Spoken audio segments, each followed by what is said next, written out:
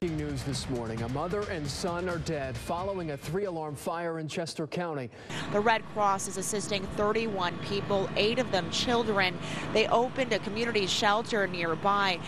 Uh, we're working on getting that set up right now um, to give these people a place to spend the night, get out of the rain. We have not been told anything about when they'll be able to get back in. Um, luckily, the fire department is letting them get a, gather some belongings to bring to the shelter.